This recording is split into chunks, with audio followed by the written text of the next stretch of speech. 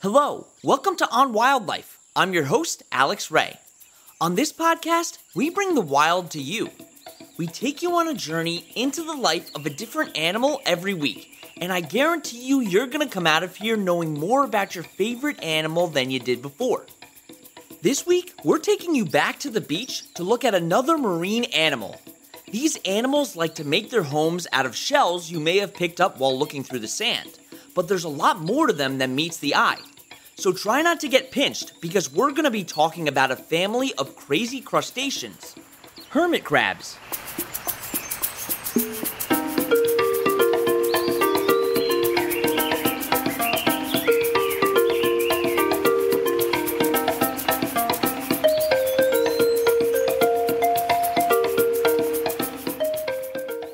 The hermit crab is part of the superfamily Paguroidea. This family is comprised of 10 legged crustaceans that have gained adaptations which allow them to occupy empty shells. There are 800 species of hermit crabs living in coastal waters all over the world.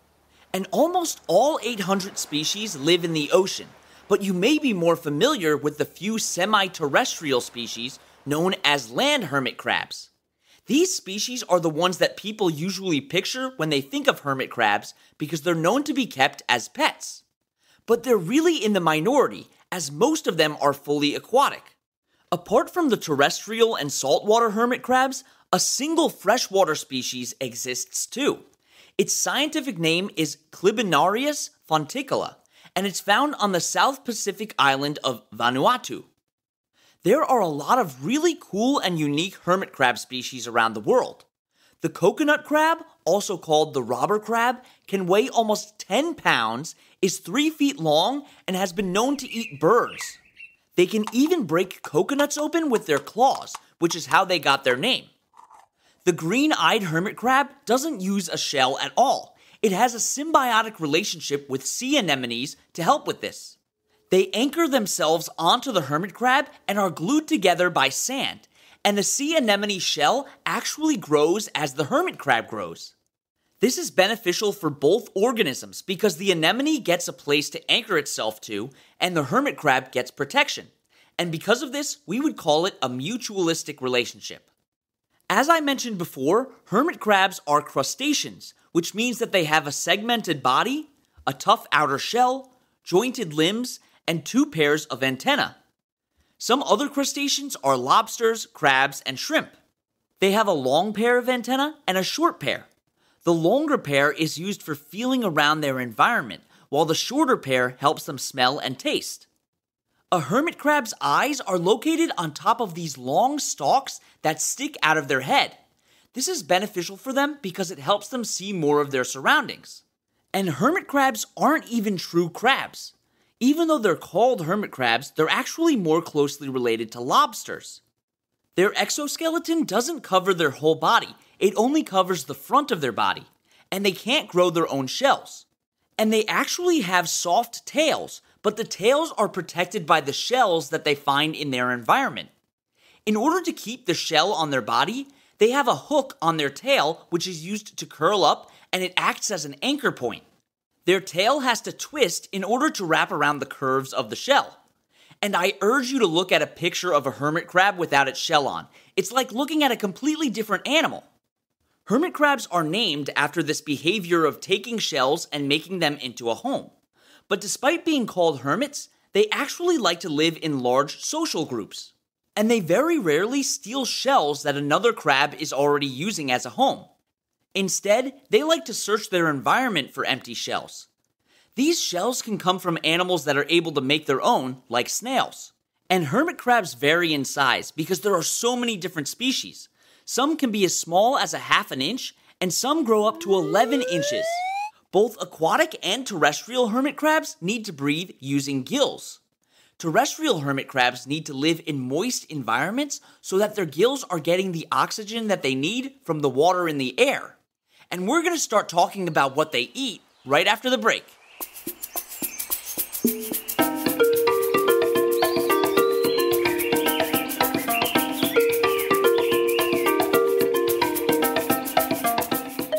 This week, I want to give a shout out to Kate from North Carolina.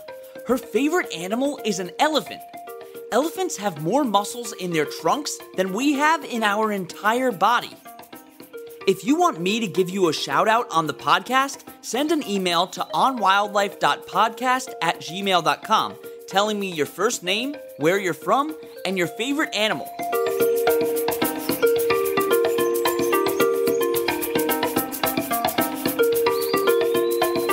Now back to the episode. Hermit crabs are extremely opportunistic consumers and will eat just about anything they can find. So we could classify them as omnivores who scavenge for most of their food. They eat mussels, clams, dead organisms, and some types of algae. They could also eat smaller fish and shrimp, while those in captivity often eat vegetables and fish food.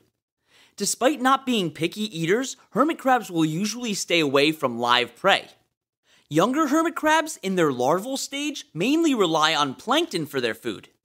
Most hermit crabs are nocturnal, so they'll forage for food at night. There are a lot of animals that would eat a hermit crab, so going out in the dark is much safer. And they use all five of their senses in order to find food. They have hundreds of tiny hairs on the smaller pair of antennae. These hairs are called aesthetascs, and they enable them to pick up scents from their environment or taste the sand for any semblance of food.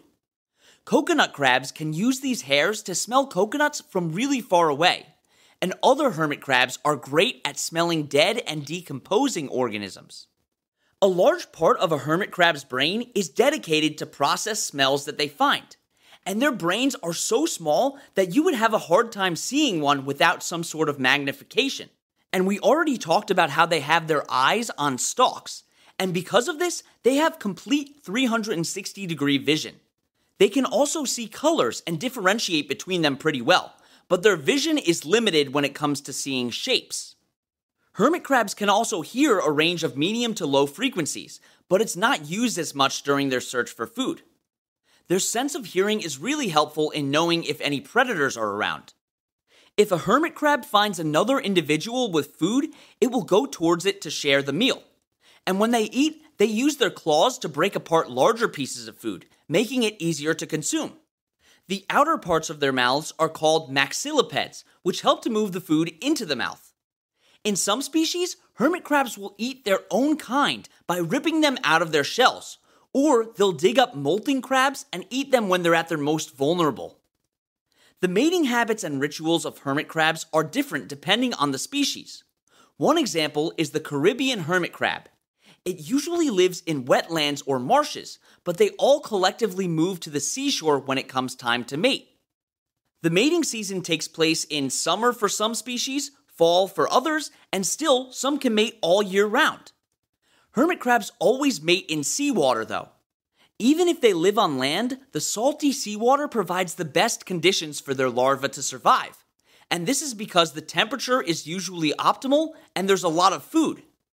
Some studies have found that hermit crabs mate based on their size. Larger females will mate with larger males because the females are able to hold more eggs. After mating, the eggs are fertilized and the female holds the eggs for about a month. Once they mature, the females release them into the open ocean with the help of their gill appendages that push the eggs out. Hermit crabs can lay between a couple thousand and 50,000 eggs at a time. They lay so many eggs because very few of them will survive into adulthood.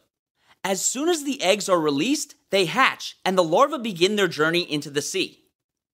Once the eggs hatch, those larvae are now completely on their own. And there are four stages of life for a hermit crab. They begin their lives as zoea, which are small and free swimming. This is the larval stage. After molting a few times, they become megalopa. They're still small, but now they look more like crabs. Molting basically happens when hermit crabs outgrow their exoskeleton, so they have to shed it off and grow a new one. And I'll elaborate more on this process later on in the episode. Very few megalopa live past the first few hours after they molt, because those who are stronger will often eat the others to gain even more strength. Any megalopa that survive will dig holes in the sand to molt and become juveniles. Juveniles look a little closer to hermit crabs you see in the wild, but they're much smaller and are just beginning to look for shells. If the juveniles survive, they'll molt and grow into adults. Adults then join other individuals in large groups of hermit crabs and will move into their more permanent shells. Hermit crabs stay in the ocean until they reach adulthood, regardless of if they're terrestrial or aquatic. They need to stay in the water until they grow their exoskeleton, and the water also keeps their gills and stomach running efficiently. Because of this meticulous process, they're extremely hard to breed in captivity, but if they do breed, it's generally best for them to breed during the summer months. Hermit crabs are able to reproduce for their whole life, which can span decades or can be over in a few years. Most live between 1 and 10 years, with some living over 30 years. The longest living hermit crabs are called Coenobita brevimanus, and they can live for up to 70 years. So you can already tell that hermit crabs are amazing creatures, but I've got plenty more stuff to talk about right after the break.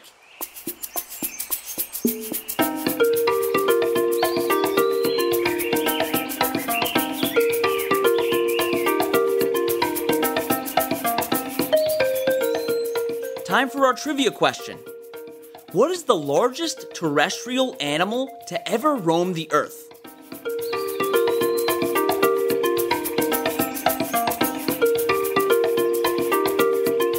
The answer is a titanosaur species called Dreadnoughtus.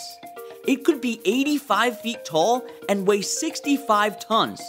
That's the weight of over 13 African elephants.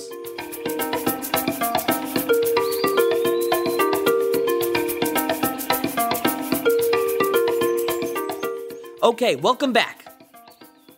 Hermit crabs are very social animals, and they like to form groups also called clusters. This happens once they reach their adult stage and start to find their larger shells. And these clusters can have over 100 individuals in them.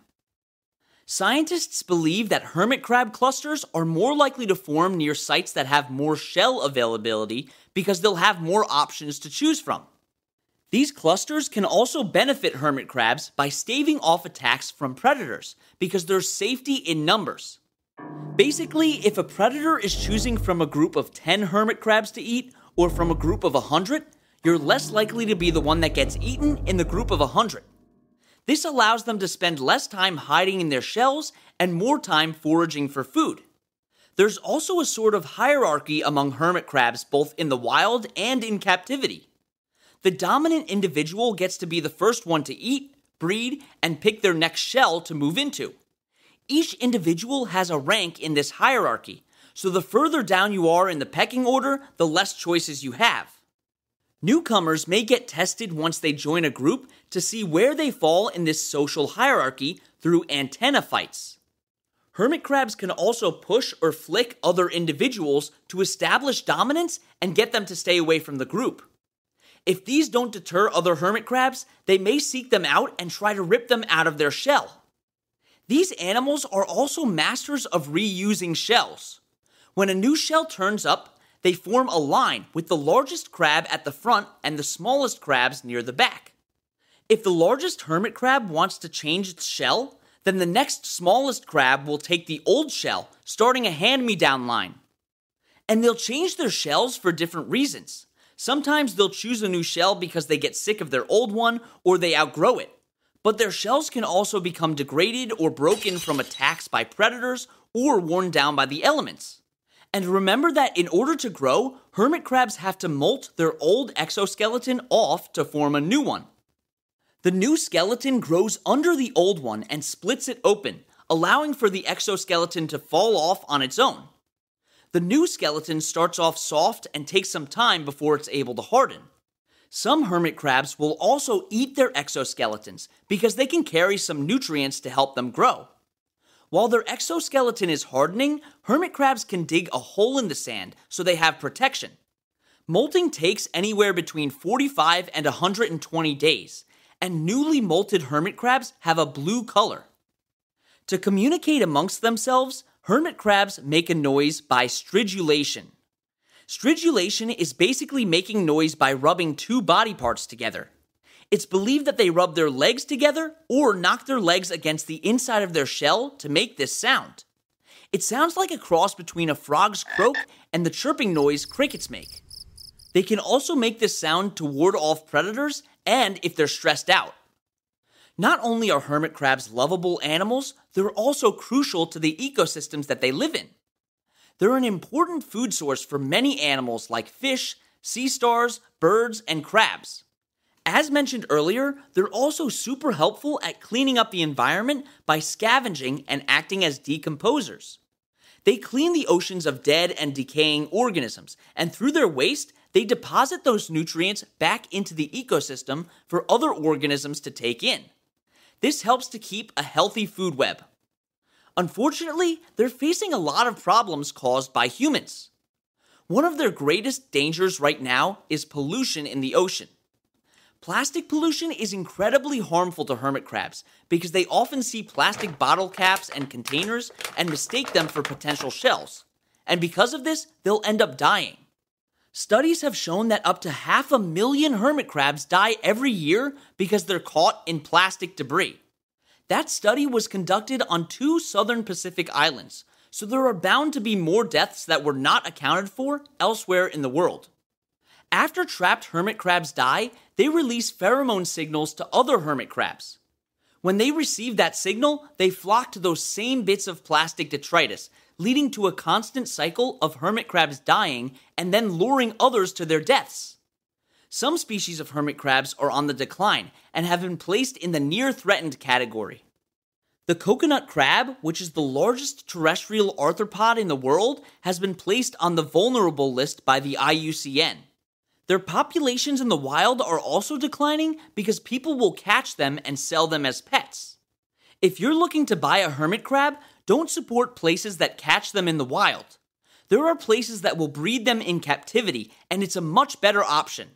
And while they're nice to have as pets, many people mistreat them without even knowing it.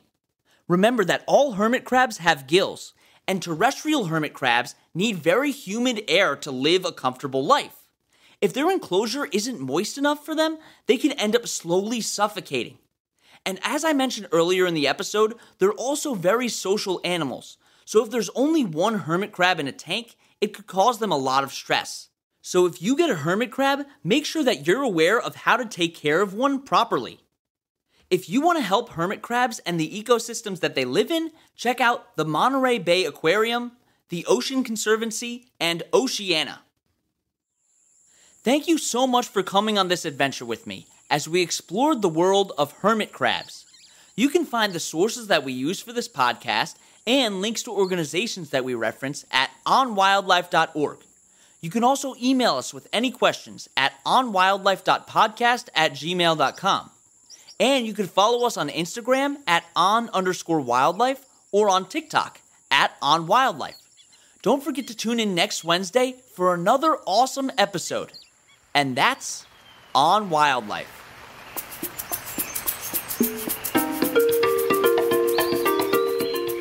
Listening to On Wildlife with Alex Ray. On Wildlife provides general educational information on various topics as a public service, which should not be construed as professional, financial, real estate, tax, or legal advice. These are our personal opinions only. Please refer to our full disclaimer policy on our website for full details.